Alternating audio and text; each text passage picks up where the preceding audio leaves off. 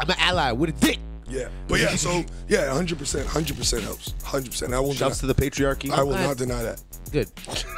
Good. I will not deny that. Ha- Is there is there been a director or or uh, group of people that you that you would want to work with more? Is like is like the like the was like Space Force? what- It's comedy. Is it is it like uh Actually, here's a better question. It, it- the the back like uh, is it more funny on the set of Space Force than It it is was- than it is on the set of Snowpiercer, or is is, is, or is everybody joking? Are joking? you having fun on set? I'm having fun all the time. Yeah? I sit there and I eat all day.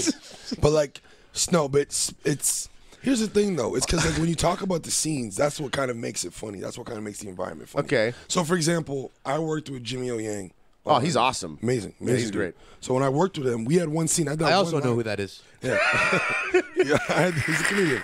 I had that one scene with him, but like it took us forever. I swear to God, it almost I broke every took every take. Okay, do they get kind of pissed off at you when you do No, that? They get it because you see the you see the you see production Okay, but too. are they still using tape? Like, is it still tape? Yeah, they're roll- okay, 'Cause guys, before they, they used to get mad when you digital used to, now. No, it's That's digital what I'm now, saying. you So they're not it. wasting tape. No, they're not. Like back They're in the day, they were They're like, not. "Come on, guys, we're wasting tape here." Mm. It's not that like they just delete it and yeah, then they just delete it and get it back to digital.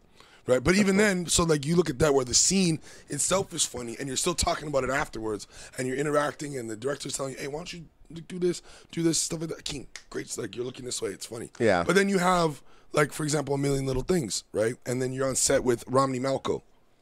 Romany Malco is the black guy from Forty Year Old Virgin.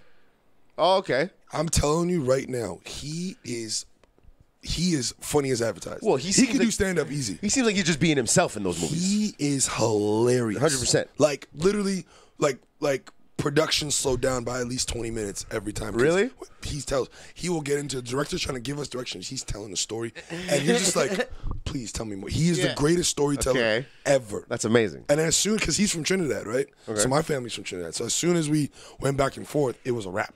It was over, and we are just talking back and forth. Coolest guy, like out, like every set was pretty welcoming, but a million little things was probably the most fun and welcoming set I've ever been on. You make connections. Make connect- Yeah. yeah. just b- bonding with people. But I also was there the longest. I was there for six days. Okay. Okay. So that was the longest shoot I've ever done. Have you have you met anyone that like you, you have you been starstruck at all? Like, uh, have you met any?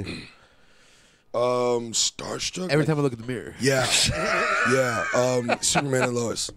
Yeah. Superman Lois. Yeah. Who who was on the set that you It could was. say was? Do you remember? You ever seen the movie Step Up?